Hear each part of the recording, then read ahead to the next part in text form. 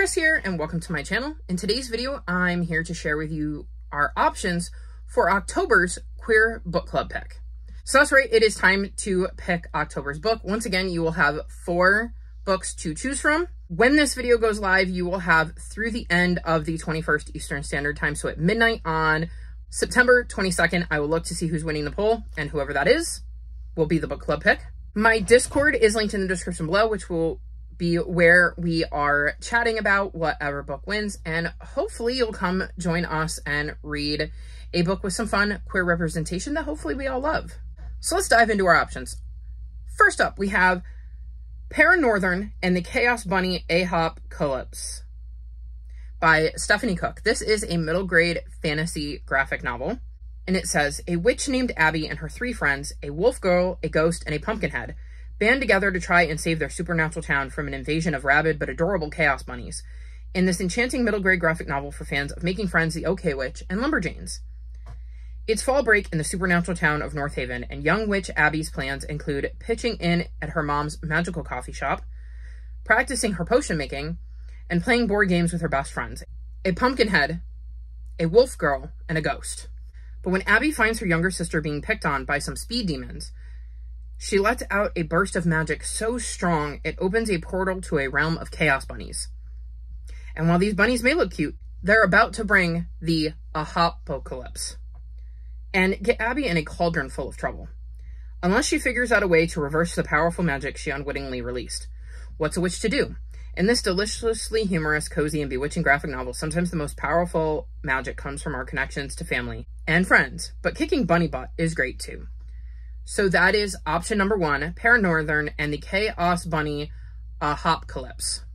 Next is Can't Spell Treason Without Tea by Rebecca Thorne. This is the first book in the Tomes and Tea series, and this is a cozy mystery with fantasy and romance elements.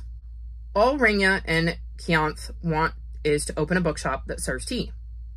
Worn wooden floors, plants on every table, firelight drifting between the rafters, all complemented by love and good company. Thing is, Reyna works as one of the Queen's private guards, and Kianthe is the most powerful mage in existence.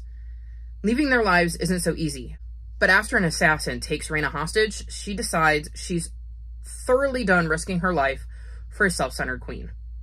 Meanwhile, Kianthe has been waiting for a chance to flee responsibility, all the better that her girlfriend is on board. Together, they settle in Tawney, a town that boasts more dragons than people, and open the shop of their dreams. What follows is a cozy tale of mishaps, mysteries, and a murderous queen throwing the realm's biggest temper tantrum. And a story brimming with hurt and comfort and quiet fireside conversations, these two women will discover just what they mean to each other and the world. Option number two, can't spell treason without Tea. Option number three is The Body in the Back Garden by Mark Waddell. This is the first book in the Crescent Cove mystery series, and this is a cozy mystery. In this queer, cozy series debut, Luke Tremblay is about to discover that Crescent Cove has more than its fair share of secrets, and some might be deadlier than others. Crescent Cove, a small hamlet on Vancouver Island, is the last place out-of-work investigative journalist Luke Tremblay ever wanted to see again. He used to spend summers here until his family learned that he was gay and rejected him. Now, following his aunt's sudden death, he's inherited her entire estate, including her seaside cottage and the antique shop she ran for 40 years in Crescent Cove. Luke plans to sell everything and head back to Toronto as soon as he can, but Crescent Cove isn't done with him just yet. When a stranger starts making wild claims about Luke's aunt, Luke sends him packing. The next morning, though, Luke discovers that the stranger has returned and now he's lying dead in the back garden.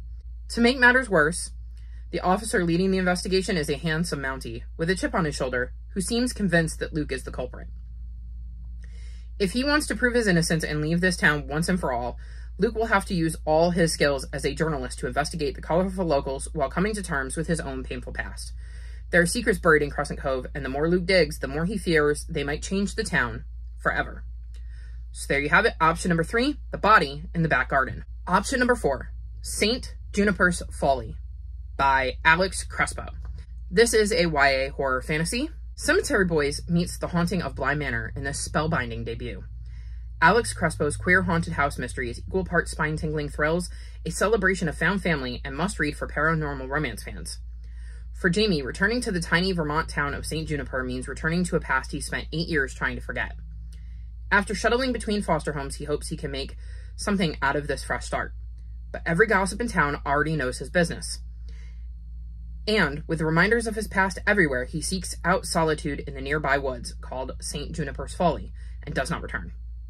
For Theo, St. Juniper means being stuck. He knows there's more out there, but he's scared to go find it. His senior year is going to be like all the rest, dull and claustrophobic. That is until he wanders into the Folly and stumbles on a haunted house with an acerbic yet handsome boy stuck, as in physically stuck, inside. For Taylor, St. Juniper is a mystery. The surrounding woods speak to her, while she tries and fails to practice the magic her dad banned from the house after her mother died. Taylor can't seem to break out of her spiral of grief until a wide-eyed teenager barges into her life, rambling on about a haunted house, a trapped boy, and ghosts. He needs a witch. The folly and its ghosts will bring these three teenagers together, but they will each have to face their own internal struggles in order to forge a bond strong enough to escape the folly's shadows. So there you have option number four, St. Juniper's Folly. On my community tab, when this video goes live, there will be a poll. You can vote in the poll until the end of the 21st of September, so midnight on September 22nd, Eastern Standard Time. I will do another video announcing the winner of the poll, so you will all know which book won and which book we will be reading. In the description below is a link to the Discord, which is where we will be chatting about the book as October goes on.